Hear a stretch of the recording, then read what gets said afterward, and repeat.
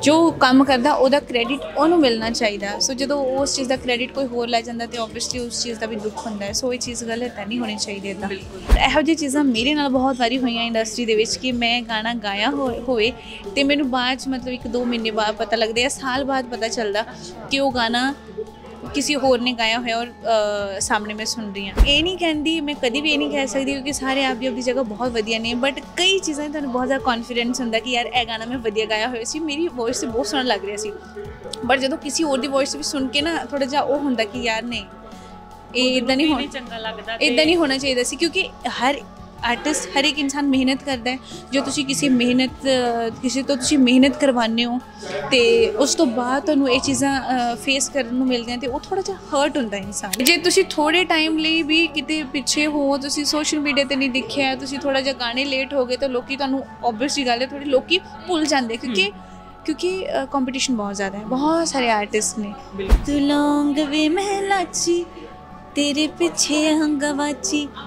ਤੇਰੇ ਇਸ਼ਕ ਨੇ ਮਾਰੀ ਕੁੜੀ ਕੱਚ ਦੀ ਕਵਾਰੀ ਵੇ ਮੈਂ ਚੰਬੇ ਦੇ ਪਹਾੜਾਂ ਵਾਲੀ ਸ਼ਾਮ ਵੇ ਮੁੰਡਿਆ ਸੰਦਲੀ ਸੰਦਲੀ ਨੈਣਾ ਵਿੱਚ ਤੇਰਾ ਨਾਮ ਵੇ ਮੁੰਡਿਆ। ਸਤਿ ਸ਼੍ਰੀ ਅਕਾਲ ਜੀ ਪੰਜਾਬੀ ਗਰੂਪ ਦੇਖ ਰਹੇ ਹੋ। ਮੈਂ ਹਾਂ ਤੁਹਾਡੇ ਨਾਲ ਦੀਕਸ਼ਾ ਠਾਕੁਰ ਤੇ ਆਮ ਸ਼ੋਰ ਸਾਰੇ ਜਾਣੇ ਠੀਕ ਠਾਕ ਹੋਵੋਗੇ। ਅੱਜ ਅਸੀਂ ਸਾਰੇ ਇਕੱਠੇ ਹੋਏ ਹਾਂ ਮੁੰਡਾ ਰੌਕ ਸਟਾਰ ਫਿਲਮ ਦੇ ਪ੍ਰੀਮੀਅਰ ਦੇ ਵਿੱਚ ਤੇ ਸਾਡੇ ਨਾਲ ਇੱਕ ਬਹੁਤ ਖਾਸ ਮਹਿਮਾਨ ਮੌਜੂਦ ਹੈ ਜਿਨ੍ਹਾਂ ਨੂੰ ਅਸੀਂ ਬਹੁਤ ਘੱਟ ਦੇਖਦੇ ਹਾਂ ਲੇਕਿਨ ਜਦੋਂ ਵੀ ਆਉਂਦੇ ਆ ਸਾਰੇ ਜਾਣੇ ਉਹਨਾਂ ਨੂੰ ਮਿਲ ਕੇ ਬਹੁਤ ਖੁਸ਼ ਹੁੰਦੇ ਆ। ਮੈਂ ਗੱਲ ਕਰ ਰਹੀ ਹਾਂ ਮੰਨਤ ਨੂਰ ਦੀ। ਸਤਿ ਸ਼੍ਰੀ ਅਕਾਲ ਮੈਮ ਸਤਿ ਸ਼੍ਰੀ ਅਕਾਲ ਜੀ ਕੀ ਹਾਲ ਚਾਲ ਬਹੁਤ ਵਧੀਆ ਤੁਸੀਂ ਦੱਸੋ? ਬਹੁਤ ਵਧੀਆ ਬਹੁਤ ਵਧੀਆ। ਪਹਿਲਾਂ ਤਾਂ ਇਹ ਦੱਸੋ, ਇੰਨਾ ਘੱਟ ਕਿਉਂ ਮੀਡੀਆ ਦੇ ਸਾਹਮਣੇ, ਕਿਉਂ ਇੰਨਾ ਘੱਟ ਕਿਉਂ ਆਉਂਦੇ ਹੋ? ਮੀਡੀਆ ਦੇ ਸਾਹਮਣੇ ਤਾਂ ਮੈਂ ਬਹੁਤ ਆਉਂਦੀ ਹਾਂ, ਬਹੁਤ ਸਾਰੇ ਇੰਟਰਵਿਊਜ਼ ਕੀਤੇ ਆ। ਹਾਂ ਪ੍ਰੀਮੀਅਰ ਤੇ ਕਈ ਵਾਰੀ ਪੋਸੀਬਲ ਨਹੀਂ ਹੁੰਦਾ, ਕਿਉਂਕਿ ਜਿਸ ਦਿਨ ਕੋਈ ਪ੍ਰੀਮੀਅਰ ਹੁੰਦਾ ਤਾਂ ਉਸ ਦਿਨ ਮੈਂ ਲੱਕਲੀ ਕਹਿ ਲਓ ਜਾਂ ਜਿੱਦਾਂ ਵੀ ਕਹਿ ਲਓ, ਮਤਲਬ ਬਿਜ਼ੀ ਹੁੰਨੀ ਆ ਸੋ ਕਈ ਵਾਰੀ ਪਤਾ ਵੀ ਨਹੀਂ ਚੱਲਦਾ ਹੁੰਦਾ ਬਟ ਮੈਂ ਹੁਣ ਸੋਚਿਆ ਕਿਉਂਕਿ ਮਾਨਸੀ ਜੀ ਤੇ ਯੁਵਰਾਜ ਹੰਸ ਜੀ ਮੇਰੇ ਬਹੁਤ ক্লোਜ਼ ਮੇਰੇ ਫਰੈਂਡਸ ਨੇ ਤੇ ਉਹਨਾਂ ਨੇ ਮੈਨੂੰ ਮੈਨੂੰ ਸਾਰੇ ਵੈਸੇ ਇਨਵਾਈਟ ਕਰਦੇ ਰਹਿੰਦੇ ਨੋ ਡਾਊਟ ਬਟ ਉਹਨਾਂ ਨੇ ਮੈਨੂੰ ਸਪੈਸ਼ਲੀ ਇਨਵਾਈਟ ਕੀਤਾ ਸੀ ਸੋ ਮੈਨੂੰ ਸੀਗਾ ਕਿ ਮੂਵੀ ਬਹੁਤ ਵਧੀਆ ਹੋਊਗੀ। ਸੋ ਅੱਜ ਮੈਨੂੰ ਆਣਾ ਹੀ ਚਾਹੀਦਾ ਸੀਗਾ। ਜੀ ਟ੍ਰੇਲਰ ਦੇਖਿਆ ਤੁਸੀਂ ਇਸ ਮੂਵੀ ਦਾ? ਟ੍ਰੇਲਰ ਦੇਖਿਆ ਮੈਂ। ਕੀ ਐਕਸਪੈਕਟ ਕੀਤਾ ਸੀਗਾ ਕਿ ਅਗਰ ਯੁਵਰਾਜ ਹੰਸ ਆ ਰਿਹਾ ਹੈ ਤੇ ਨਾਜ਼ਿਮ ਹੈ ਮੂਵੀ ਦੇ ਵਿੱਚ ਅਦਿਤੀ ਹੈ ਤੇ ਬੰਦਾ ਕੁਝ ਸੋਚਦਾ ਕਿ ਅਗਰ ਇਹ ਬੰਦਾ ਮੂਵੀ ਕਰ ਰਿਹਾ ਹੈ ਇਹ ਟਾਈਟਲ ਹੈ ਤਾਂ ਉਹਦਾ ਇਦਾਂ ਦਾ ਕਨਸੈਪਟ ਹੋਏਗਾ ਜਾਂ ਆਪਾਂ ਕੁਝ ਹੋਰ ਐਕਸਪੈਕਟ ਕਰਦੇ ਨਿਕਲਦਾ ਕੁਝ ਹੋਰ ਹੈ। ਤੁਸੀਂ ਜੋ ਉਮੀਦਾਂ ਲਾਈਆਂ ਸੀ ਟ੍ਰੇਲਰ ਤੋਂ ਤੁਹਾਡੀ ਉਮੀਦਾਂ ਤੇ ਖਰਾ ਉਤਰਿਆ? ਆ ਮੂਵੀ ਤੇ ਹਲੇ ਦੇਖਣੀ ਬਾਕੀ ਹੈ। ਜੀ। ਤੇ ਮੂਵੀ ਦੇਖ ਕੇ ਦੱਸਾਂਗੇ ਬਟ ਇਹ ਇੰਨਾ ਸ਼ੋਰ ਕਹਿ ਸਕਦੀ ਹਾਂ ਕਿ ਮੂਵੀ ਬਹੁਤ ਸੋਹਣੀ ਹੋਊਗੀ।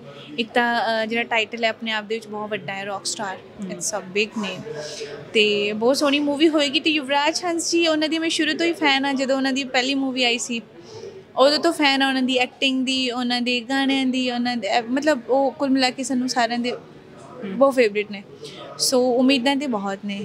ਕਿ ਮੂਵੀ ਸੋਹਣੀ ਹੀ ਹੋਏਗੀ ਆਬਵੀਅਸਲੀ ਸੋਹਣੀ ਹੋਏਗੀ ਬਿਲਕੁਲ ਉਹ ਕਿਉਂਕਿ ਕਰਦੇ ਵੀ ਬਹੁਤ ਸਿਲੈਕਟਿਵ ਪ੍ਰੋਜੈਕਟ ਨੇ ਅੱਛਾ ਤੁਸੀਂ ਵੀ ਹਨਾ 뮤직 ਇੰਡਸਟਰੀ ਤੋਂ ਜੁੜੇ ਹੋ ਯੁਵਰਾਜ ਹੰਸ ਵੀ 뮤직 ਇੰਡਸਟਰੀ ਤੋਂ ਤੇ ਮੂਵੀ ਵੀ ਕੁਝ ਮਿਊਜ਼ੀਕਲੀ ਹੋਣ ਵਾਲੀ ਹੈ ਹਨਾ ਟ੍ਰੇਲਰ ਤੋਂ ਤਾਂ ਇਹੀ ਸਾਨੂੰ ਦੇਖਣ ਨੂੰ ਮਿਲਿਆ ਬਾਕੀ ਫਾਈਨਲ ਰਿਜ਼ਲਟ ਤਾਂ ਮੂਵੀ ਦੇਖ ਕੇ ਹੀ ਪਤਾ ਚੱਲੇਗਾ ਤੇ ਅ, ਤੁਸੀਂ ਕੀ ਕਹਿਣਾ ਚਾਹੁੰਦੇ ਹੋ ਇੱਕ ਕਲਾਕਾਰ ਦੀ ਜ਼ਿੰਦਗੀ ਦੇ ਵਿੱਚ ਕਿੰਨਾ ਜ਼ਿਆਦਾ ਅਪ ਐਂਡ ਡਾਊਨਸ ਆਉਂਦੇ ਕਿੰਨਾ ਜ਼ਿਆਦਾ ਸਟਰਗਲ ਹੁੰਦਾ ਹੈ ਅ, ਜਿੱਦਾਂ ਟ੍ਰੇਲਰ 'ਚ ਆਪਾਂ ਦੇਖਿਆ ਗਾਣੇ ਚੋਰੀ ਹੋ ਜਾਂਦੇ ਆ ਜਾਂ ਉਹਨਾਂ ਦੇ ਨਾਮ ਦਾ ਮਿਸਯੂਜ਼ ਕੀਤਾ ਜਾਂਦਾ ਹੈ ਤੁਹਾਡੇ ਨਾਲ ਅ, ਅੱਜ ਤੱਕ ਕੁਝ ਇਹੋ ਜਿਹਾ ਹੋਇਆ ਹੈ?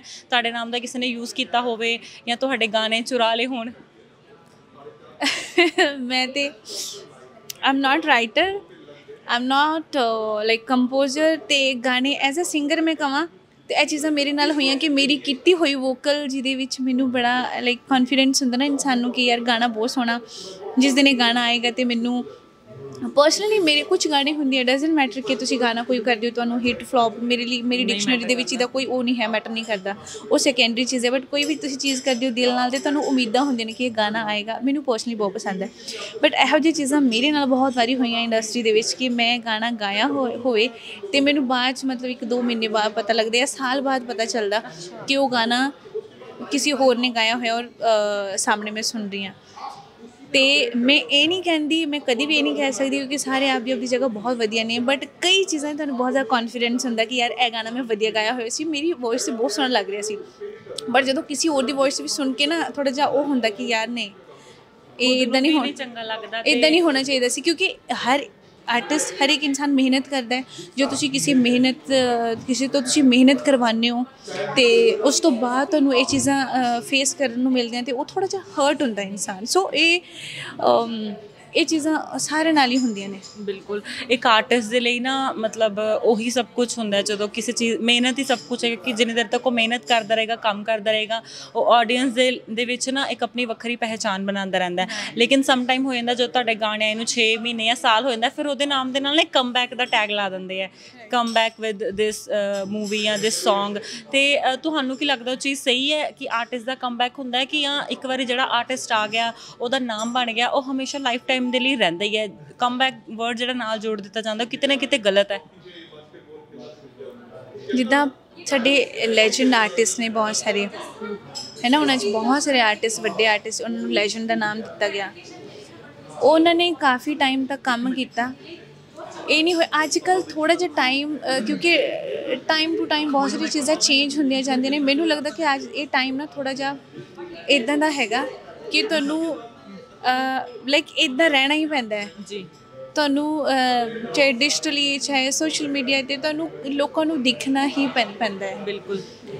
ਤੇ ਜੇ ਤੁਸੀਂ ਥੋੜੇ ਟਾਈਮ ਲਈ ਵੀ ਕਿਤੇ ਪਿੱਛੇ ਹੋ ਤੁਸੀਂ ਸੋਸ਼ਲ ਮੀਡੀਆ ਤੇ ਨਹੀਂ ਦਿਖਿਆ ਤੁਸੀਂ ਥੋੜਾ ਜਿਹਾ ਗਾਣੇ ਲੇਟ ਹੋ ਗਏ ਤਾਂ ਲੋਕੀ ਤੁਹਾਨੂੰ ਆਬਵੀਅਸਲੀ ਗੱਲ ਹੈ ਥੋੜੀ ਲੋਕੀ ਭੁੱਲ ਜਾਂਦੇ ਕਿਉਂਕਿ ਕਿਉਂਕਿ ਕੰਪੀਟੀਸ਼ਨ ਬਹੁਤ ਜ਼ਿਆਦਾ ਹੈ ਬਹੁਤ ਸਾਰੇ ਆਰਟਿਸਟ ਨੇ। ਬਿਲਕੁਲ।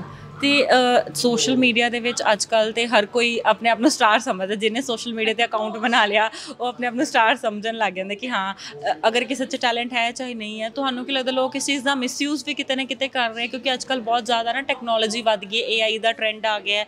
ਕੋਈ ਸਿੰਪਲ ਵੀ ਅਗਰ ਗਾਣਾ ਗਾ ਰਿਹਾ ਨਾ, ਤੇ ਉਹਨੂੰ AI 'ਚ ਕਨਵਰਟ ਕਰਕੇ ਕਿਸੇ ਦੇ ਵੀ ਫੇਮਸ ਆਰਟਿਸਟ ਦੀ ਆਵਾਜ਼ ਚੱਕ ਕੇ ਲਗਾ ਦਿੰਦਾ ਤੇ ਉਹਨੂੰ ਅਗਰ ਉਹ ਵਾਇਰਲ ਹੋ ਜਾਂਦਾ ਤੇ ਆਪਣਾ ਨਾਮ ਰਿਵੀਲ ਕਰ ਦਿੰਦਾ ਇਸ ਚੀਜ਼ ਨੂੰ ਤੁਸੀਂ ਸਹੀ ਸਮਝਦੇ ਹੋ? ਸਹੀ ਤਾਂ ਨਹੀਂ ਜੀ, ਇਹ ਤੇ ਚੀਜ਼ ਬਹੁਤ ਗਲਤ ਹੈ ਕਿਉਂਕਿ ਜਿਹਨੇ ਜਿਸ ਇਨਸਾਨ ਨੇ ਜੋ ਮਿਹਨਤ ਦੇ ਨਾਲ ਕੋਈ ਚੀਜ਼ ਬਣਾਈ ਹੋਈ ਜਿਹਨੂੰ ਜੋ ਕੰਮ ਕਰਦਾ ਉਹਦਾ ਕ੍ਰੈਡਿਟ ਉਹਨੂੰ ਮਿਲਣਾ ਚਾਹੀਦਾ। ਸੋ ਜਦੋਂ ਉਸ ਚੀਜ਼ ਦਾ ਕ੍ਰੈਡਿਟ ਕੋਈ ਹੋਰ ਲੈ ਜਾਂਦਾ ਤੇ ਆਬਵੀਅਸਲੀ ਉਸ ਚੀਜ਼ ਦਾ ਵੀ ਦੁੱਖ ਹੁੰਦਾ ਹੈ। ਸੋ ਇਹ ਚੀਜ਼ ਗਲਤ ਹੈ ਨਹੀਂ ਹੋਣੀ ਚਾਹੀਦੀ ਇਦਾਂ ਅੱਛਾ, ਤੁਹਾਡਾ Song ਇੱਕ ਬਹੁਤ ਜ਼ਿਆਦਾ ਫੇਮਸ ਹੋਇਆ ਬਿਲੀਅਨਸ ਦੇ ਵਿੱਚ ਗਿਆ, ਹਨਾ? ਤੇ ਉਹ ਜਿਹੜਾ ਮੂਵਮੈਂਟ ਸੀਗਾ, ਇੱਕ ਪ੍ਰਾਊਡ ਮੂਵਮੈਂਟ ਰਿਹਾ ਤੁਹਾਡੇ ਲਈ, ਤੁਹਾਡੀ ਫੈਮਿਲੀ ਦੇ ਲਈ। ਤੇ ਫਰਸਟ ਮੈਸੇਜ ਤੁਹਾਨੂੰ ਕਿਹਦਾ ਆਇਆ? ਕਿੰਨੇ ਜ਼ਿਆਦਾ ਸਭ ਤੋਂ ਜ਼ਿਆਦਾ ਐਪਰੀਸ਼ੀਏਟ ਕੀਤਾ? ਫਰਸਟ ਮੈਸੇਜ ਤੇ ਖੈਰ, ਕਈ ਵਾਰੀ ਨਾ ਸੌਰੀ ਮੈਂ ਭੁੱਲ ਜਾਂਦੀ ਹਾਂ, ਮੈਨੂੰ ਨਹੀਂ ਯਾਦ ਕਿ ਫਰਸਟ ਮੈਸੇਜ ਕਿਹਦਾ ਹੋਏਗਾ, ਲੇਕਿਨ ਉਹ ਪਹਿਲਾ ਗਾਣਾ ਸੀ, ਜਿਹਦੇ ਆਉਂਦਿਆਂ ਹੀ ਮੈਨੂੰ ਇੰਨੀਆਂ ਸਾਰੀਆਂ ਕਾਲਸ ਆਈਆਂ ਅਨਐਕਸਪੈਕਟਿਡ ਲੋਕਾਂ ਦੀਆਂ, ਜਿ- ਜਿਨ੍ਹਾਂ ਨੂੰ ਮੈਂ ਕਦੀ ਐਕਸਪੈਕਟ ਵੀ ਨਹੀਂ ਸੀ ਕੀਤਾ ਕਿ ਕਦੀ ਮੈਨੂੰ, ਕਦੀ ਉਹਨਾਂ ਦੇ ਨਾਲ ਗੱਲ ਵੀ ਹੋਏਗੀ, ਚਾਹੇ ਉਹ ਪਾਕਿਸਤਾਨ ਤੋਂ ਹੋਣ, ਬਹੁਤ ਲੈਜੈਂਡ ਆਰਟਿਸਟ ਚਾਹੇ ਉਹ ਆਪਣੇ ਇੰਡੀਆ ਤੋਂ ਹੋਣ, ਬਹੁਤ ਲੈਜੈਂਡ ਉਹਨਾਂ ਦਾ ਉਹ ਮੇਰੇ ਲਈ ਉਹ ਸ਼ਾਇਦ ਇੰਨੀਆਂ ਜ਼ਿਆਦਾ ਬਲੇਸਿੰਗਸ ਮੈਂ ਮੰਨਦੀ ਹਾਂ ਉਹਨਾਂ ਨੂੰ ਕਿ ਮੈਨੂੰ ਕਾਲ ਆ ਕੇ ਉਹਨਾਂ ਨੇ ਆਸ਼ੀਰਵਾਦ ਦਿੱਤਾ ਉਹਨਾਂ ਨੇ ਕਿਹਾ ਕਿ ਬਹੁਤ ਸੋਹਣਾ ਗਾਣਾ ਹੈ। ਤਾਂ ਹਾਲਾਂਕਿ ਇੱਕੋ ਦਿਨ ਹੋਇਆ ਸੀ ਸਵੇਰੇ ਗਾਣਾ ਰਿਲੀਜ਼ ਹੋਇਆ ਔਰ ਸ਼ਾਮ ਤੱਕ ਇੰਨੀਆਂ ਕਾਲਸ ਆਈਆਂ ਸੀ ਮੈਨੂੰ। ਗਾਣਾ ਇੰਨਾ ਜ਼ਿਆਦਾ ਪਪੂਲਰ ਹੋ ਗਿਆ ਮੈਂ ਜਾਂਦੇ ਜਾਂਦੇ ਜ਼ਰੂਰ ਉਹ ਗਾਣੇ ਦੀ ਦੋ ਲਾਈਨਾਂ ਜ਼ਰੂਰ ਸੁਣਨਾ ਚਾਹੂੰਗੀ। ਸ਼ੋਰ ਵੀ ਤੂੰ ਲੌਂਗ ਵੇ ਮਹਿਲਾਚੀ ਤੇਰੇ ਪਿੱਛੇ ਹੰਗਵਾਚੀ ਤੇਰੇ ਇਸ਼ਕ ਨੇ ਮਾਰੀ। ਕੁੜੀ ਕੱਚ ਦੀ ਕਵਾਰੀ ਵੇ ਮੈਂ ਚੰਬੇ ਦੇ ਪਹਾੜਾਂ ਵਾਲੀ ਸ਼ਾਮ ਵੇ ਮੁੰਡਿਆ। ਸੰਦਲੀ ਸੰਦਲੀ ਨੈਣਾ ਵਿੱਚ ਤੇਰਾ ਨਾਮ ਵੇ ਮੁੰਡਿਆ। ਸੰਦਲੀ ਸੰਦਲੀ ਨੈਣਾ ਵਿੱਚ ਤੇਰਾ ਨਾਮ ਵੇ ਮੁੰਡਿਆ। ਸੰਦਲੀ ਸੰਦਲੀ ਨੈਣਾ ਵਿੱਚ ਤੇਰਾ ਨਾਮ ਵੇ ਮੁੰਡਿਆ। ਬਹੁਤ ਸੋਹਣਾ। ਮੈਨੂੰ ਲੱਗਦਾ ਗਾਣੇ ਦੀ ਜਿਹੜੀ ਫਰੈਸ਼ਨੈਸ ਹੈ ਨਾ, ਜਿੰਨੀ ਮਰਜ਼ੀ ਵਾਰ ਸੁਣ ਲਓ, ਉਹ ਉਸੇ ਤਰ੍ਹਾਂ ਬਰਕਰਾਰ ਹੈ। ਤੇ ਆਮ ਸ਼ੋਰ ਤੁਸੀਂ ਇਸੇ ਤਰ੍ਹਾਂ ਇੰਡਸਟਰੀ ਨੂੰ ਹੋਰ ਬਹੁਤ ਸਾਰੇ ਸੁਪਰ ਡੂਪਰ ਹਿੱਟ ਗੀਤ ਦਵੋਗੇ ਤੇ ਅਸੀਂ ਤੁਹਾਡੇ ਨਾਲ ਇੱਦੇ ਰੂਬਰੂ ਹੁੰਦੇ ਰਹੋਗੇ। Thank you so much ma'am thank you ਜੀ ਥੈਂਕ ਯੂ ਥੈਂਕ